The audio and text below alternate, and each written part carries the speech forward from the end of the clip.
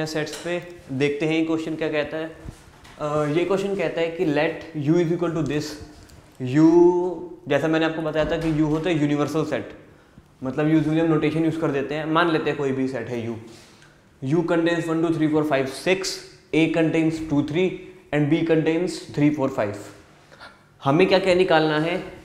ए dash निकालना है B dash निकालना है। A intersection A dash intersection B dash निकालना है एंड ए यूनियन बी निकालना है। तो देखते हैं हम इसको कैसे अप्रोच करते हैं।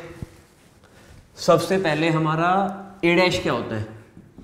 ए डैश होता है हमारा ए कॉम्प्लीमेंट ए कॉम्प्लीमेंट मतलब यू माइनस ए मतलब कि हमें इस यूनिवर्सल सेट में से ए को माइनस करना है। यूनिवर्सल सेट क्या है हमारा? One two three four five six minus two, three.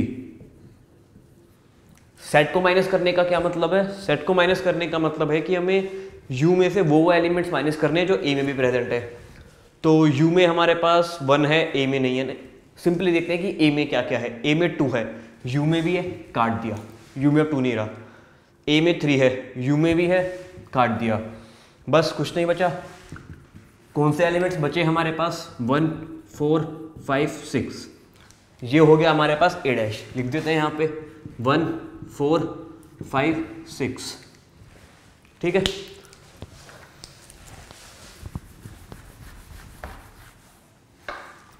अब हमें निकालना है बी डैश बी डैश क्या लिखेंगे हम? इसी तरह से बी डैश लिखेंगे हम. U माइनस बी यू क्या है हमारे पास? One two three four five six minus B क्या है हमारे पास? Three, four, five. लिखते हैं फिर। वन मतलब काटना है हमें। थ्री यहाँ पे है, यहाँ पे भी है। काट दिया। फोर है, काट दिया। फाइव है, काट दिया। कुछ एक्स्ट्रा है? नहीं है। ठीक है क्या क्या बचा? One, two, six.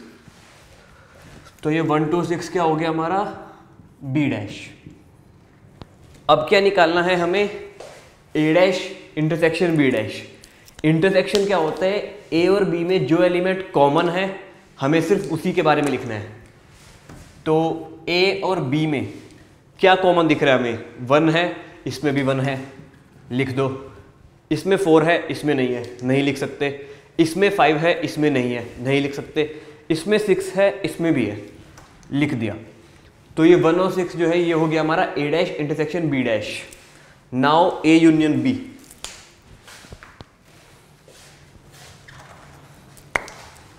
A union B तो ए यूनियन बी को हम किस तरह से लिखेंगे? ए यूनियन बी है हमारा मतलब ए और बी के हमें सारे एलिमेंट्स लिखने हैं बट कोई एलिमेंट रिपीट नहीं करना। कैसे लिखेंगे हम? ए यूनियन बी ऊपर से लिखना स्टार्ट करते हैं। ए यूनियन बी का टू लिख दिया थ्री लिख दिया।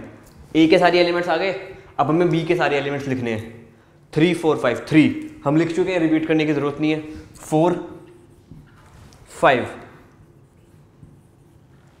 this is A union B अब एक चीज़ आप नोटिस करो, ज़रा मैं ए यूनियन बी का कॉम्प्लीमेंट लिखता हूँ। ए यूनियन बी का कॉम्प्लीमेंट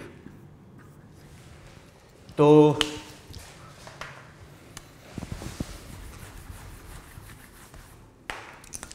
हम ए यूनियन बी के कॉम्प्लीमेंट को किस तरह से लिखेंगे? U minus A union B simple u क्या है one two three four five six minus A union B क्या है two three four five minus कर दिया हमें माइनस कैसे करेंगे?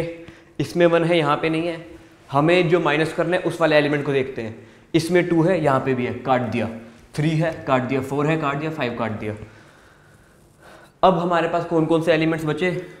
वन बचा सिक्स बचा। आपने एक चीज़ नोटिस की? एक लो पढ़ा होगा आपने De Morgan's law by chance हमने उस लो को प्रूव कर दिया. डी मॉर्गन्स लो क्या कहते हैं? A dash intersection B dash is equal to A union B whole का इंटरसेक्शन दिस इज़ आर ये होता है हमारा डी मॉर्गन्स लॉ जिसको हमने अभी प्रूव किया।